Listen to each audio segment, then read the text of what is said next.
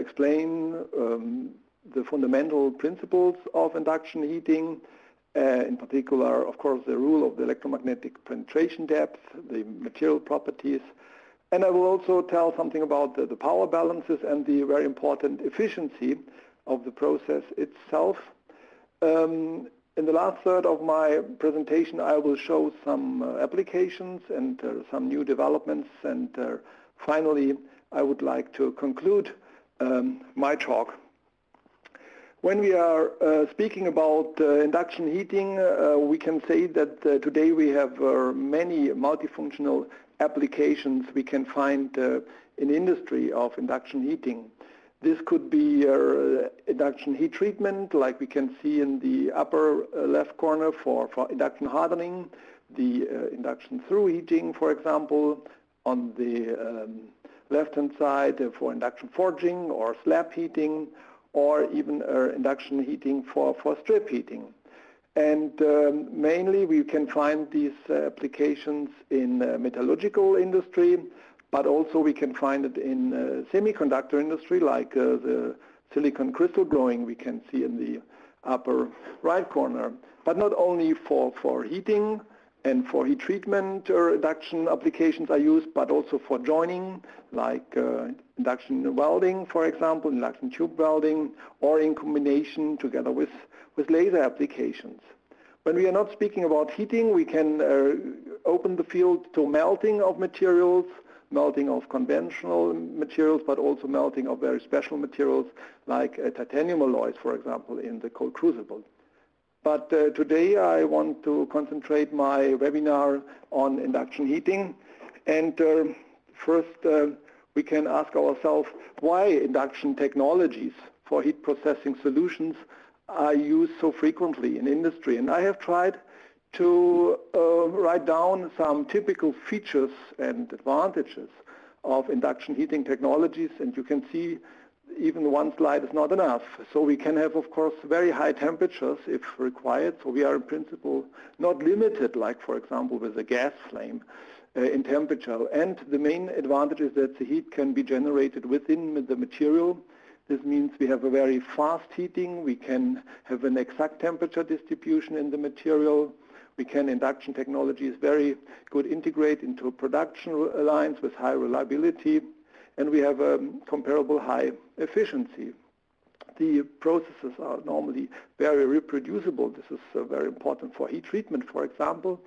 And the high energy density leads, of course, to a fast processing if required. Um, electrodynamic forces, I will also explain later, are important mainly for induction melting. But uh, for all technologies, it's of course important that we have a less environmental impact and a low specific energy consumption. Also, the atmosphere can be uh, variable. We can heat even in under gas atmosphere, special atmospheres, and we have a high level of automation. And why uh, we have this uh, typical features, I will try to, to start from the, from the basics and to uh, explain where they are coming um, from. And the basics, of course, of uh, induction heating is the electrical principle of the induction effect itself. It's uh, well known also from, from the electrical transformer or from electrical engine or uh, electrical generator. And uh, in principle, it is based on, on two laws, uh, the so-called uh, Maxwell equations.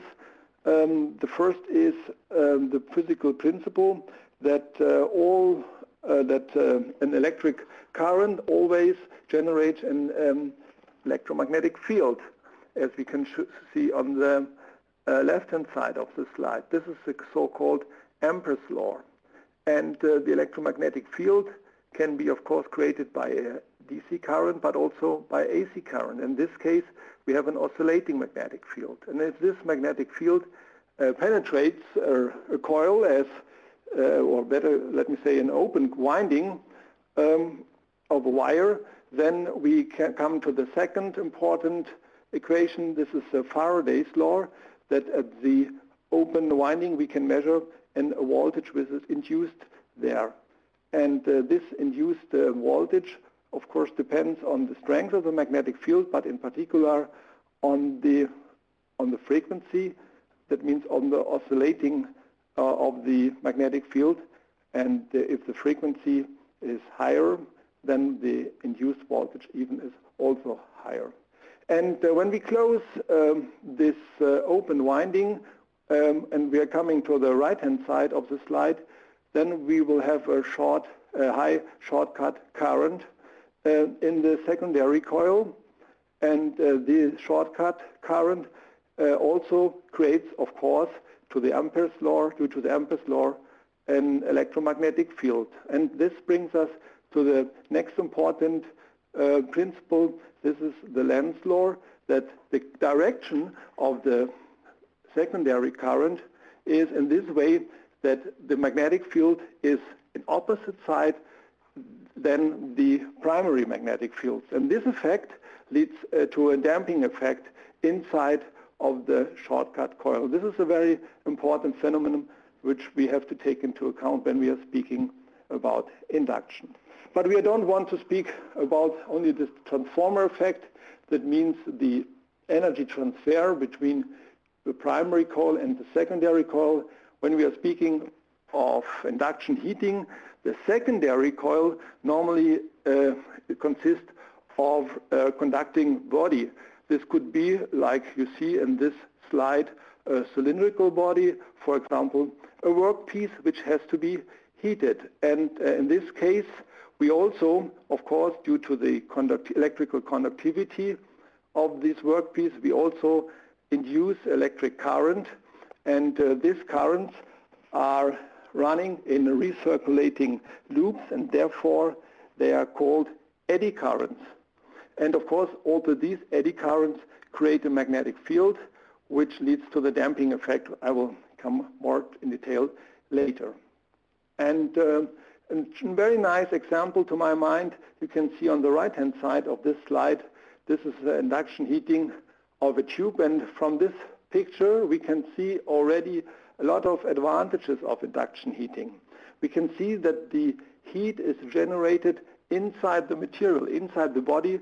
That means in this case inside this tube due to the eddy currents. And uh, we can also see that we don't need a contact between a primary coil and the uh, workpiece to be heated because the energy is transferred by the electromagnetic field. And this allows us, of course, also to have a relative movement between the workpiece, for example, and the coil. We can also see that the heat mainly is generated there where we have concentrated the electromagnetic fields. It means inside this coil, as you can see here. So we have a local heating effect that not the whole tube is heated, but only there where we uh, penetrate the electromagnetic field and where we generate the eddy currents. If we look to the mathematical equations, which I don't want to explain in detail during this webinar, which should be more application-oriented, but we can say that all these physical principles I have explained can be described very precisely by mathematical equations, by the Ampere's law, by the Faraday's law, and uh, of course also by the Ohm's law. And uh, all these mathematical equations uh, can be solved today mainly using, of course, numerical finite element methods, for example, but they can solve also for simple configuration by analytical solutions. And the basic equation which has to be solved is the electromagnetic field equation, which is coming uh, from the two Maxwell equations, but this can be done today very precisely using finite element codes for example. When we speaking about induction heating, of course, we have to take into account the temperature field, which is uh, generated due to the Joule effect, to the, to, due to the current inside the workpiece, and the temperature field can be uh, precisely uh, calculated using the um, using the Fourier heat conduction equation, which you can see on this slide. And as you can see that the Joule heat is, which is coming from the uh, electromagnetic uh, solution, is the coupling between the electromagnetic field solution and the Fourier heat conduction equation. And this is the input for calculating the temperature field distribution inside the workpiece. But we can also see that the material properties of the workpiece to be heated play a very important role because this material properties has to be taken into account. This is the heat conductivity, this is the density, this is the heat capacity, the electrical conductivity, and uh, for many materials they are known, but in particular for new innovative materials, in many cases they are not known, and uh, they are very important for a precise calculation of uh, the temperature field inside uh, the body or inside the workpiece. And um, most of these material properties, which play an important role, are depending, of course, on temperature itself or like permeability also on the magnetic field strength. And a very simple example where we know the material properties is a, special, is a steel C45, for example, where the electrical and thermal properties are known. And you can see here that they strongly depend depend on the temperature, and this has to be also taken into account when we are speaking, for example, of numerical simulation of induction heating uh, problems, then we have to know also these material properties, which is sometimes very difficult. As I mentioned already, that uh, the secondary current uh, generates also an electromagnetic field, also a magnetic field, which leads to a damping effect inside the workpiece. And uh, this physical principle leads to the skin effect, which is very important for the induction heating. Because due to the skin effect, the current density inside the workpiece is not homogeneously distributed, but it is distributed like you can see in this sketch in this way that we have the maximum of the current density always at the surface of the cylindrical uh, workpiece in this case, and it is strongly decreasing from the distance of the, the surface. And this uh, distribution of the current density depends on the material properties like the resistivity, but also on the permeability of the workpiece. But uh, very important is the influence of the frequency. And um, the quantitative um, value of this uh, current density distribution is the electromagnetic penetration depth, which formula you can see on this slide. And this is uh, the key factor for designing of induction heating applications. And you can see that the electromagnetic penetration depth we can find where the current density has dropped down to 37% of the maximum current density at the surface.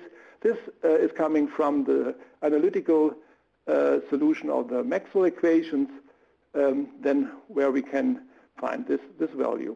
And you can see also that with the frequency of the current in the primary coil, we have an influence on the electromagnetic penetration depth in this way that for higher frequencies we can get a smaller penetration depth and for lower frequency we have a higher penetration depth. And uh, of course if the electric current density is distributed in this way like you can see it on the, this slide um, in the cylindrical workpiece also the joule heat which is generated by the electrical current has strongly dependent um, um, inside the workpiece. So in this way that the maximum joule heat is generated mainly in the surface area of the workpiece. This uh, can be described um, by the power density which is induced in the workpiece by the formula you can see here and um, of course we have, the, we have the power density also the, the heat density is generated and this has of course a strongly influence also on the temperature distribution in the uh, in the workpiece like you can see and uh, this slide number 12 shows again the influence and the dependence between the current density and the power density inside the body to be heated. This is the exact solution for an infinite conductive half space, but we can use it as an approximation also for a cylindrical body. And you can see that due to the fact that the power density depends on the square of the current density, we can see that about 86% of the induced power inside uh, is, is induced inside the penetration depth. And this, of course, can be influenced by the frequency. So if we need uh, heating of more of the surface of the workpiece, we can use a higher frequency, for example, for induction surface hardening. If we want to have a through heating of the complete body, we can use a lower frequency. Uh, another very important effect when we are speaking about induction heating is the so-called proximity effect. Because the proximity effect plays an important role, uh, for example, between two conductors, like you can see in the sketch, but also between uh, the induction coil and the workpiece. Uh, and the workpiece. The uh, proximity effect shows that the electrical current in the two conductors are concentrated at the inner opposite side, opposite side of the inductors, like it is shown here in the sketch. So we have a concentration of the current at the inner side um, between the induction coil and the workpiece. And this is a very important, for example, for designing of the coil, so that the wall thickness of the copper tube has to be designed in this way, depending on frequency, um, taking into account the penetration depth where the current density has a, the highest values.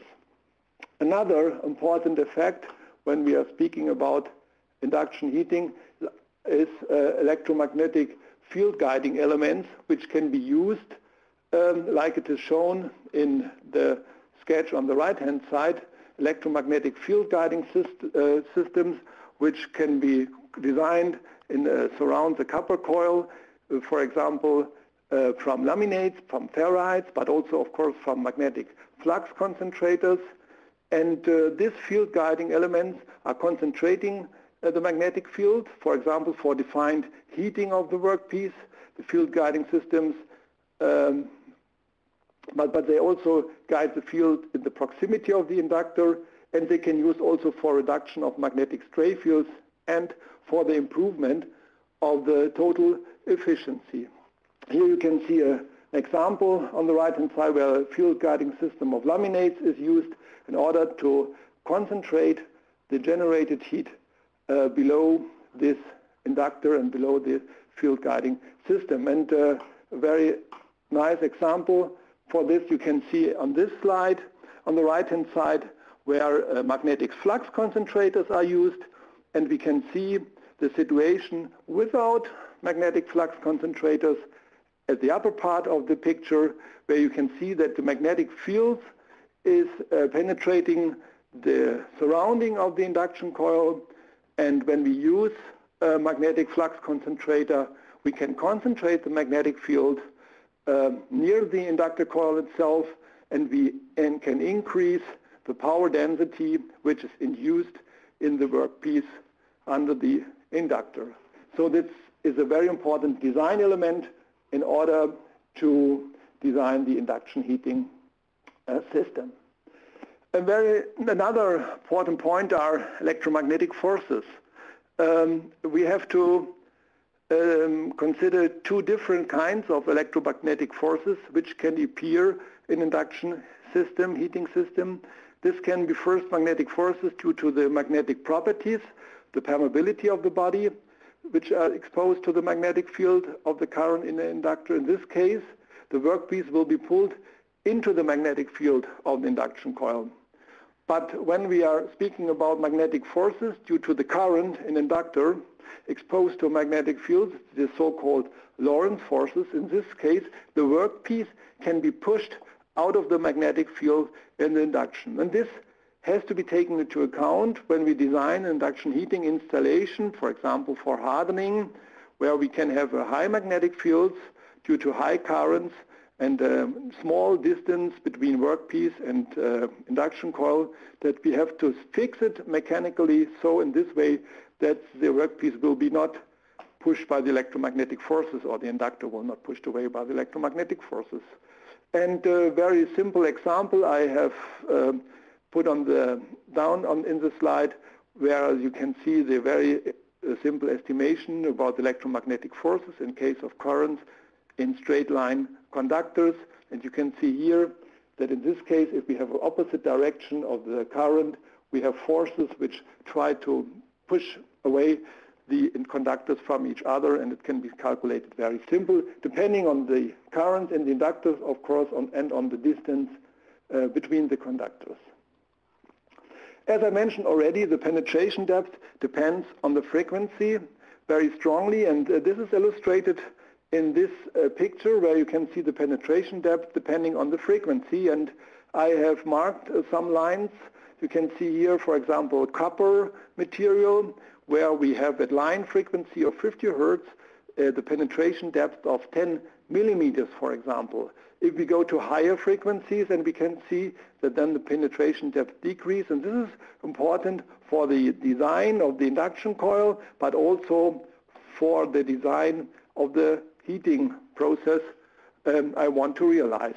And the change of the material properties uh, in case of steel, which is ma uh, marked in the blue color at different temperatures, we can see here that when we heat up a steel workpiece, for example, from 20 degrees at a frequency of 1 kilohertz, we have a penetration depth of below 1 millimeter, 0.8 millimeters. When we heat up this steel bar or the steel workpiece to 400 degrees, uh, we get already more than one, the 2 millimeters. But when we are leaving uh, the magnetic um, properties, that means we are higher than Curie temperature at 1000 degrees, the penetration depth um, increases to uh, near to 20 millimeters. So we have a, a strong influence due to these material properties on the penetration depth.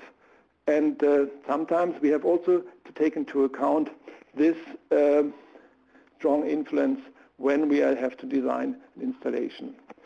As I mentioned already that the frequency is a very important factor for the design of induction heating technologies and therefore for different processes we have different kinds of frequencies. Here are some examples, for example, for through heating, for deforming, that means forging, pressing, rolling.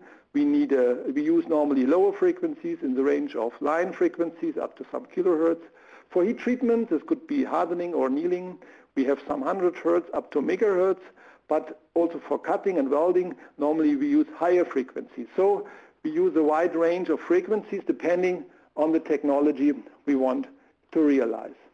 Another very important point is the electrical efficiency um, because we want to heat it with a very high efficiency and this can be analytical estimated by the formula you see on the left hand side of the slide. The efficiency of course is always the ratio between the induced power and the total power that means the induced power plus the losses in the inductor. And you can see here that the efficiency depends of course from geometry but also from the ratio between the electrical resistivity of the copper coil and the electrical resistivity of the material to be heated. That means if the resistivity of the material to be heated is high, the electrical efficiency is higher. Also an important factor is the ratio between the workpiece diameter and the penetration depth. You can see on the right-hand side. And maybe more illustrative is this fact on uh, slide number 20, where you can see the electrical efficiency depending on the workpiece diameter over the penetration depth. So we need a certain penetration depth in order to get a high efficiency. This should be, the ratio D to delta should be, as you can see here, normally higher than 4, 5, or 6. But you can see also that the efficiency strongly depends on the material itself. So in principle, for heating of steel, we have higher efficiency than for heating of copper, for example, because the resistivity of steel is higher. And for through heating applications, normally we need a high average power density, and there we have to find a compromise between high, um, between a big volume we want to be to heat and high to use high frequency to have a low uh, penetration depth and to get a high efficiency. And this compromise leads to this curve where we can find a maximum of the average power density in the range of 3.5 and this is a very important guideline when we are designing through heating installations. And this experiment shows, to my mind, very nice what happens if we put in one coil as an experiment billets with different diameters. And you can see that the smaller diameter is, will be not heated because we are more in the left side of the curve, and D to delta maybe in the ratio between 1 and 2. If we have a bigger diameter, it is too big, we are on the right-hand side, so you can find an optimal diameter with an optimal ratio D to delta where we have the optimal power volume and therefore a very fast heating. Um, this slide, number 23, should illustrate the so-called through heating time, which is also important for the designing of heating of billets. And you can see also here the influence of the frequency on the through heating time. In this case, the frequency of 1 kilohertz and 10 kilohertz is compared between, uh, and um, you can see the different temperature curves from starting to 10 minutes of heating time, and we can, see, we can clearly see the influence of the frequency to have a homogeneous temperature distribution. For in this case, 1 kilohertz, of course, is more preferable than uh, 10 kilohertz. Here, as an example, you can see a typical heating installation for through heating, uh, what I have explained just now. Normally, they are arranged that the heater itself is put on the converter, on this yellow converters, and so the billets can be fed through the induction coil and on the left-hand side you can see how the billets are coming out. This is a typical curve from an induction heating installation with a one coil induction heating system. You can see that due to the effect of the penetration depth, of course, we have the surface temperature higher at the beginning than the core temperature. The core temperature has to follow by heat conduction. And finally, the, we should have a homogeneous temperature distribution inside the billet like it is shown here in this slide. If we have uh, longer installations with several induction heating coils, then today sometimes flexible zone heating arrangement with several power supplies are used. This means that each coil, as you can see here in this picture, is connected to one converter. And so we have the possibility to adapt the power and to adapt the frequency to the situation inside the coil when the material is heated up and this will be maybe more clear when we look to this slide. So we have different zones, in this case four zones, and we can, we can control the power for each zone depending on the situation of the heated billet for example, at the beginning, we can use a lower frequency with high power.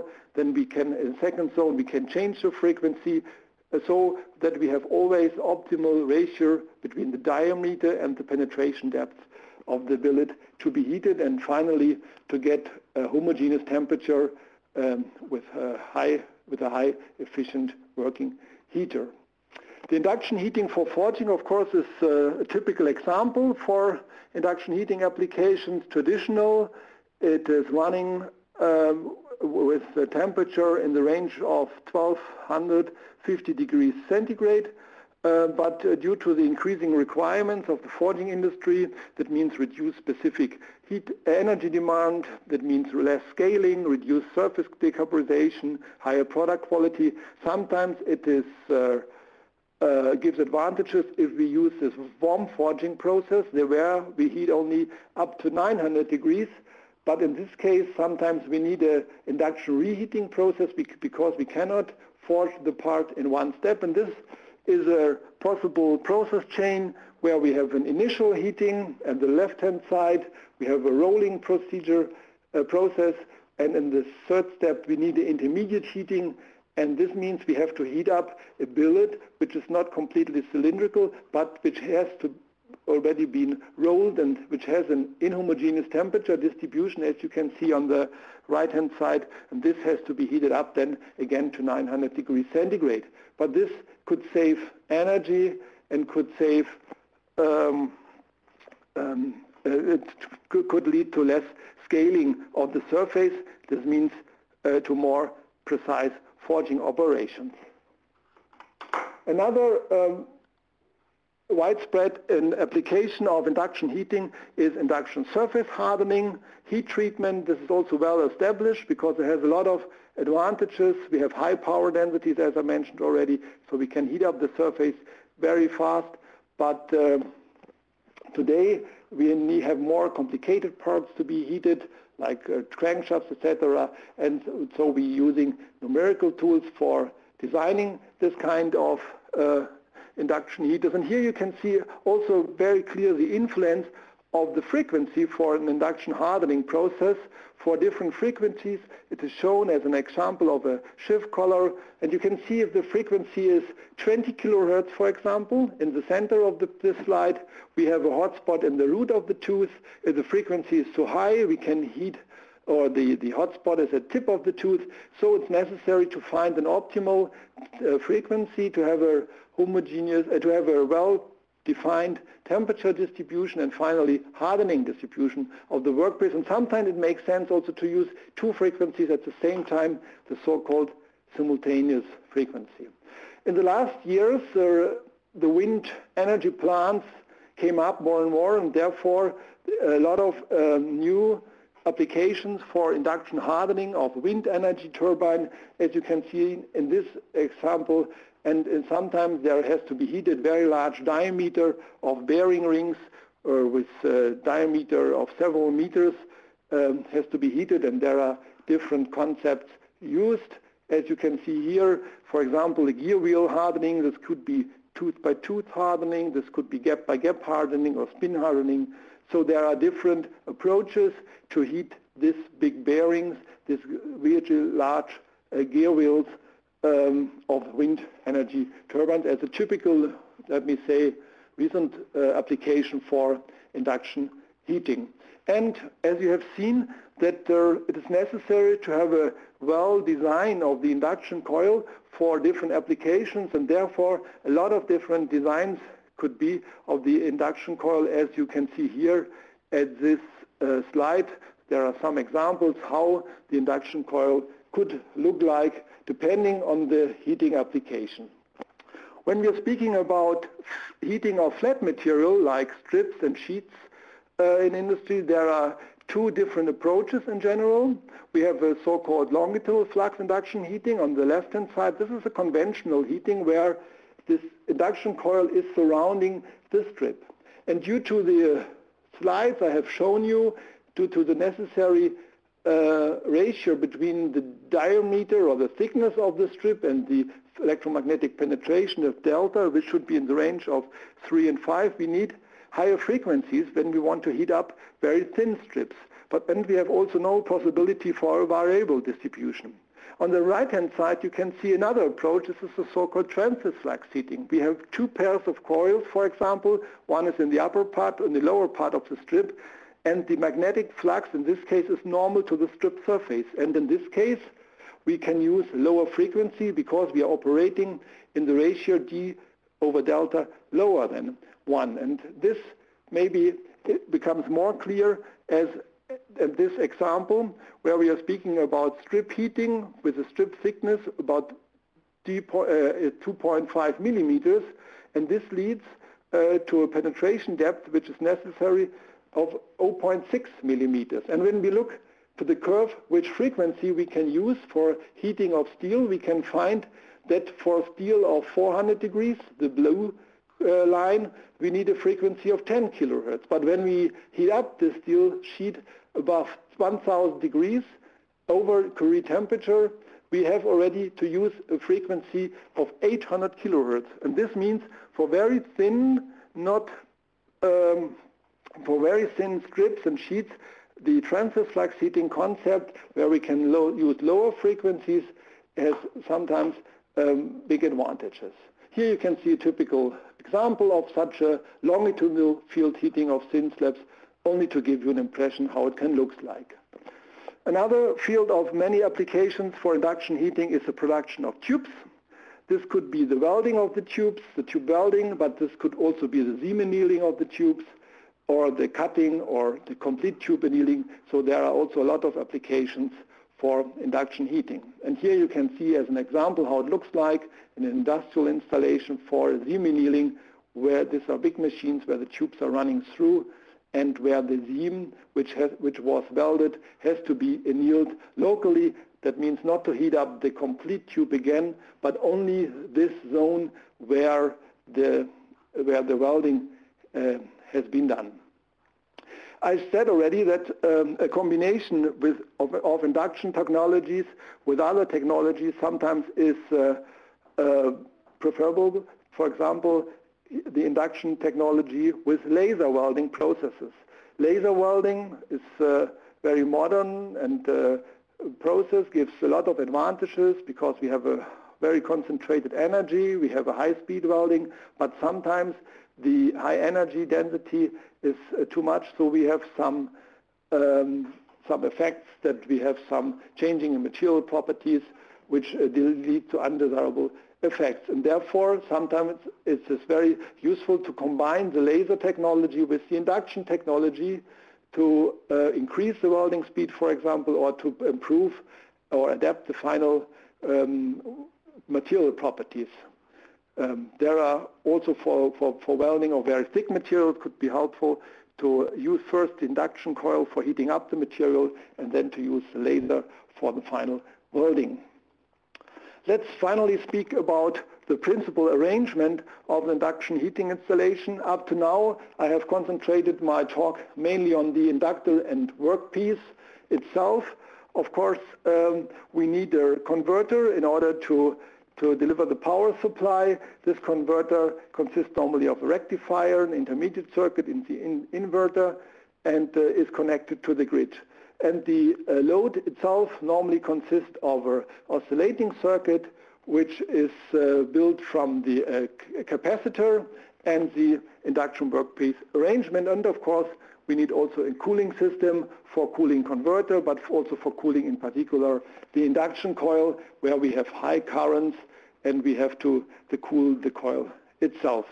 And of course, um, when we are looking to this arrangement, we have also to look to the energy balance of a total induction heating equipment. Um, this is an example, that shows the energy balance for a forging um, installation. For example, um, on the right-hand side, we see that we need a, an energy of around 240 kilowatt hours per ton to heat up this steel, for example, on 1250 degrees centigrade for forging, but due to different efficiencies, the thermal efficiency influenced by the radiation of the, of the heat from the workpiece, the, the inductor itself, this is the electrical efficiency, as I showed, um, the, the bus bars have an efficiency, that means they have losses. Uh, the converter itself has uh, losses, and of course also transformer to the grid connection has losses. So if we see the whole energy balance become totally to efficiency of 0.56%, It means we need in total around 445 kilowatt hours per ton. But you can clearly see that the biggest losses came or are coming from the inductor itself, from the electrical efficiency of the inductor. Finally, let's have a short look to a comparison between the induction technology or electrothermal technology, let me say, with other technologies. And this you can see here on this slide where the final energy demand of the installation itself, the primary energy demand, and the CO2 emission of the total process is uh, compared. And uh, we can see that, of course, the direct heating, the so-called ohmic heater, where we have a conductive direct heating, has, is the best solution, but this is sometimes not flexible enough, has some technological disadvantages. And for induction heating, we have normally a lower scale formation, and uh, we have, can also realize a continuous process with high throughput with induction heating. And the total CO2 emission today is in the same order like if we use a gas-fired furnace, but due to the increasing power supply by renewable energies from wind turbines, from photovoltaic, we expect that the CO2 emission and the primary energy um, demand will decrease in future. So that gives us also a big advantage for induction heating uh, technologies. Yeah, let's resume finally uh, the main features I have tried to explain during my talk. We have seen that we have a contactless heating and we have a direct heating inside the workpiece. I think this is the main advantages of induction heating. And we can have a local and time-dependent heating, high power density, high process temperatures, very high heating up speeds and high thermal efficiency. Therefore, and the power can be controlled very carefully by the converter and we are flexible in operation and have uh, applications in different atmosphere and even in vacuum. So this was my webinar. I thank you all for your kind attention and I'm looking forward to your questions. Thank you very much.